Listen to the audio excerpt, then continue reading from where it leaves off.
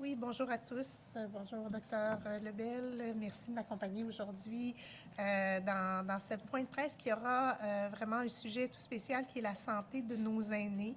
Un sujet qu'on a très peu abordé au cours des, dernières, des derniers points de presse et je tenais vraiment à ce que docteur Lebel m'accompagne, qui est vraiment la spécialiste en santé publique pour toutes les questions de prévention et d'organisation de services et de soins aux aînés. Donc, merci beaucoup d'être ici. Alors, la situation épidémiologique de Montréal et du Grand Montréal euh, est très préoccupante. La modélisation qui a été publiée au cours euh, de la fin de semaine par l'Institut national de santé publique nous invite à rester euh, prudents face à une réouverture prochaine de certains secteurs d'activité. Et comme je le disais au cours des dernières conférences de presse, en plus de vouloir, de devoir arriver à une transmission contrôlée du virus, l'ensemble des conditions essentielles à un déconfinement sécuritaire et réussi être au rendez-vous avant qu'on puisse, euh, comme grande métropole, penser à un déconfinement ou à une réouverture de différents secteurs. La situation épidémiologique aujourd'hui, près de 20 000 cas, 19 878 cas, 386 nouveaux cas au cours des derniers 24 heures. Malheureusement, euh, plus de 2000 décès, euh, dont la grande majorité, 85% se retrouvent dans des milieux de soins fermés pour nos aînés, CHSLD, résidences pour personnes âgées. Et nous avons aussi euh, près de 3 743 travailleurs de la santé euh, qui ont contracté le virus, qui représente plus de 20% euh, de nos cas totaux pour la région de Montréal. Donc, clairement, le réseau de la santé a encore beaucoup de pain sur la planche pour contrôler ces éclosions-là en milieu de soins qui teignent vraiment le portrait montréalais. Euh, on reçoit beaucoup de demandes des arrondissements, des partenaires euh, concernant les portraits territoriaux, l'action territoriale, et on en est très euh, conscient de, la nécessité d'avoir des fois des approches adaptées, surtout dans des secteurs très chauds. Et je suis heureuse de vous annoncer que dès demain matin, sur notre site Internet, l'ensemble des portraits détaillés par arrondissement vont être rendus disponibles à l'ensemble de la population qui vont nous permettre de comprendre les courbes épidémiques, la distribution des cas selon les milieux fermés, ouverts, travailleurs de la santé, pour mieux, et les points chauds, pour mieux comprendre la, la transmission actuelle sur l'île de Montréal. Je remercie mon équipe d'avoir travaillé à cela. Euh, le point qui est peut-être plus euh, positif euh, depuis la semaine dernière, quand même, en termes de nouvelles hospitalisations par COVID, on a quand même atteint un plateau qui se maintient et on a aussi une légère baisse en termes de nouvelles admissions aux soins intensifs et à l'urgence pour des patients COVID positifs, ce qui est quand même un signe encourageant. Maintenant, il faut s'assurer de maintenir ce plateau, voire idéalement d'avoir une, une diminution progressive. Et je pense que c'est en, contrôlant, entre autres, la transmission communautaire qu'on pourrait euh, arriver à maintenir ce plateau-là. Euh, la semaine dernière, on vous a euh, présenté la stratégie pour augmenter les prélèvements COVID auprès de la population. notre objectif est d'arriver à plus de 3000 prélèvements par jour. déjà, donc, dans les sites fixes, les centres de dépistage, par rapport à la dernière semaine d'avril où on avait une moyenne de 1000 prélèvements par jour, on est rendu à 1900 prélèvements par jour dans ces centres-là. et des prélèvements et nos laboratoires arrivent quand même à nous donner des, résultats euh, en moins de 24 heures. Donc, c'est quand même euh, une progression euh, qui va dans la bonne direction.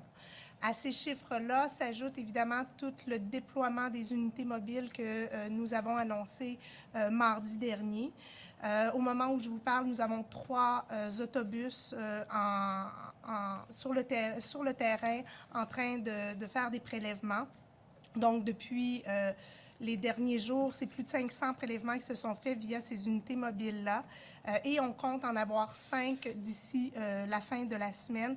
Des unités mobiles, évidemment, qui vont dans des points chauds, dans des quartiers euh, moins bien desservis, par exemple, par un site fixe et pour lesquels il y a eu plus une hausse de cas dans les 14 derniers jours.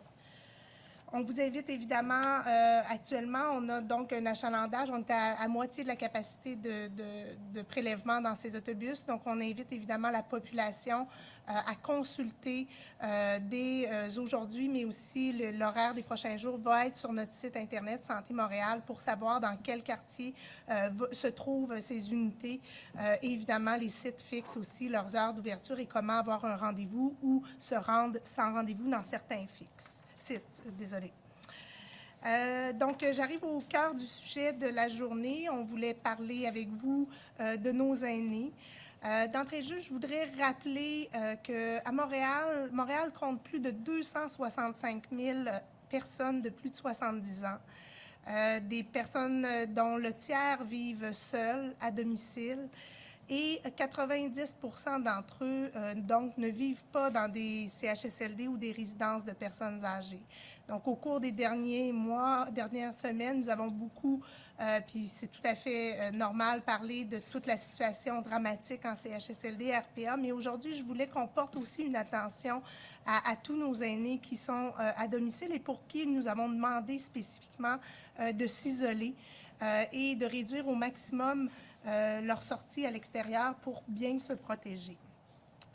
Ces aînés sont donc euh, à domicile euh, et comptent beaucoup sur les proches, leurs proches, leur réseau de soutien lorsqu'ils en ont un ou des organismes communautaires pour combler leurs besoins. Et j'en profite pour remercier l'ensemble des organismes communautaires qui travaillent de près avec nos aînés.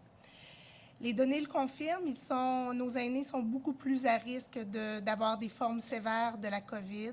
Euh, chez les 70 ans et plus, euh, c'est 11 fois plus de chances d'avoir des complications sévères euh, si on compare aux 50 ans et plus. Et lorsqu'on on regarde les 80 ans et plus, c'est 22 fois plus de risque d'avoir une forme sévère de la maladie. Donc, si on demande aux aînés euh, d'éviter les lieux publics et de maintenir euh, une distanciation physique, c'est pas pour rien, on a des bonnes raisons. Si on demande euh, de, s'isoler ou du moins de, réduire leur risque, c'est pas sans conséquences sur leur santé. Parce que parallèlement à ce confinement-là, ce qu'on voit évidemment, c'est toute la question de l'isolement, de la détresse psychologique. On pense aussi à toute la question de la malnutrition quand on est seul, on cuisine moins, on mange seul.